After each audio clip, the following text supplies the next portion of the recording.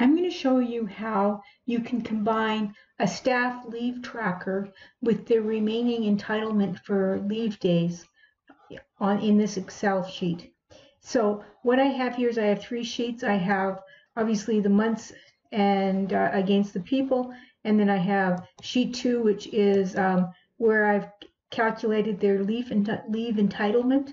And the third one is data, which is for our user form. And so let's do, for example, let's go enter leave, this button here, and I'm going to type in Stanley.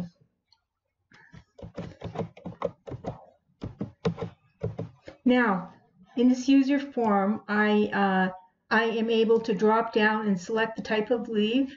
And so he's going to have vacation from the 6th of January to the 10th of January. And so I'm going to select the month, so it's going to be January. And then the start day is the 6th, and the end day is the 10th. Now you can look at the form and you can see that he has 175 hours of vacation, 35 hours of personal time, and 70 hours of sick time. So now we're going to enter this leave.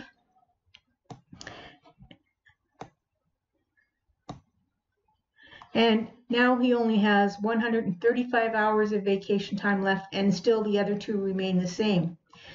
If you're sitting in a personnel office, you might probably want to enter three or four at one time. So let's say that uh, Neil, is, which is the next one, and he took a personal day on the 3rd.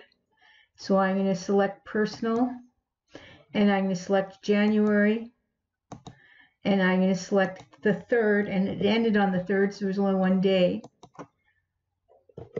and then we're going to enter leave. Neil's personal days have gone from 35 hours to 7 hours after he takes his personal day here. And then Carol, let's do her, so let's clear form. And let's do Carol. And um, she was sick, let's say the 9th and the 10th of January. So I'm going to select sick, and I'm going to select January, and I'm going to say the 9th and the 10th. And then I'm going to enter leave. And so then you see for Carol that her sick days are now 50 or sick hours is 54 and that's being calculated. So let's close this and I will just quickly tell you how I've done this. Now on the second sheet I've calculated, I've, I've entered in their start dates, I've entered in the, the end date for my calculation as the 1st of, of January 2020. And so then what I did, um, is I calculated the years by using equals DATEDIF B2, comma C2, and then the units I want is years, so this is complete years. And then um, using VLOOKUP, I have named this table, the rate here, I've named it uh, earned days. And so using VLOOKUP, I have checked out with the number of years here how many hours of vacation they earn there.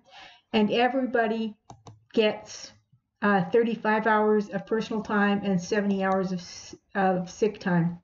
Now, these values initially are linked to the to the to here and then what I've done is I've done a formula in here so I've said if we go so this is the value from the sheet 2 minus, it's a count if, count if it's a vacation here. And if it's a whole vacation day, we're assuming they're working eight hour days.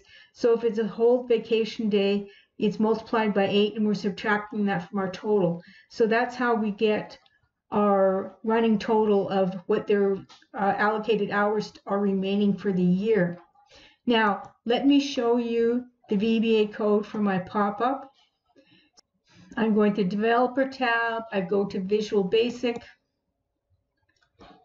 And I'm going to go to my user form. So my user form is as I, as I was showing you when we were using it. And then to view the um, view the code, what we're going to do is right click on the on the button here, and we're going to go view code. Now um, I I've named uh, name is a string, leave is a string, range is a range, row number, month, uh, month move as an integer, L start, L end, difference. Now, X is long. And then I'm saying if text, you're checking to see if that name exists on your list here. And then um, what you're doing is you're searching down the list here and you're finding where this name is. And that is the row number that when you find it, that's the row number. Okay, now uh, the, you have four different types of leave type. You have leave with no pay, vacation, sick, and personal. Now, I have only done um, three months here, January, February, and March. If I had done the whole 12, I find that I run out of room to put this code in my description of my video. So it's just a matter of entering the, the number of days that uh, March has to add it so you can get April, May, June, and the rest. And then if CB months equals that, then you're doing this and then you, you are moving to the location on the um, on the on the chart. Um, then the start number, uh, row number from what the name where they are, L start equals value equals leave, and sheet one cells row number L end value equals leave. And the difference between L, L end and L start, if the difference is greater than one, then you fill in the values in between there. And that is how, how you get the pop-up. So that's how you combine the leave entitlement with with the tracking of the leave for your employees in in your uh, organization. Do you think this is going to work for your organization? Please subscribe.